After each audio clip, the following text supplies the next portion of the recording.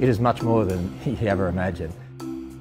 A Noah's Ark, smack in the middle of rural Williamstown, Kentucky. The ark is biblical in size, and I mean that literally. 510 feet long, 85 feet wide, 8 stories high. Inside, seriously, it is awe inspiring. Tell me where we're sitting.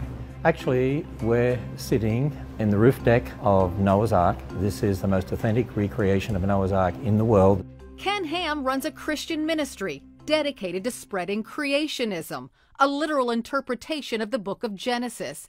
He believes God created the earth in six days and six nights and rejects scientific evidence that the earth is 4.5 billion years old. So, taking God at His word in Genesis, dinosaurs lived beside people about 6,000 years ago. Is it an, an evangelical tool, the ark? Oh, yes, it's definitely an evangelical tool. Like Disney World, Ark Encounter is a for profit park, except for its religious purpose.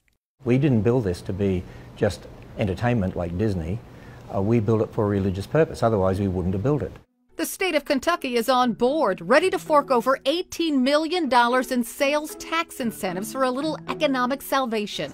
I think it's going to bring business into the town. How could that not be the perfect solution for rebuilding our community? Kentuckians eager for work have applied to work at Ark Encounter, but there's a catch. ARK employees must sign a statement of faith disavowing same sex marriage, premarital sex, and adultery. They must also believe in Genesis and Jesus Christ. So, Jewish people no? If people have put their faith and trust in the Lord Jesus Christ, they. Muslim people?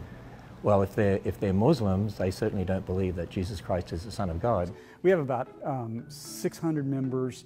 So you're a pastor and you're a taxpayer? Yes, on both counts. What do you think of Ken Ham's ARK project? I believe as a Baptist in the separation of church and state, and I don't think that the state ought to be involved in promoting any particular religious views. There are kinds of laws called Sharia where people have used legislation and the government to promote a religious faith.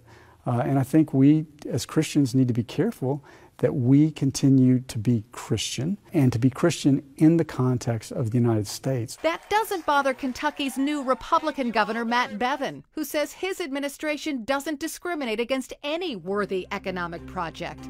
Ham is predicting up to 2 million visitors a year, and that would certainly answer some of Williamstown's prayers.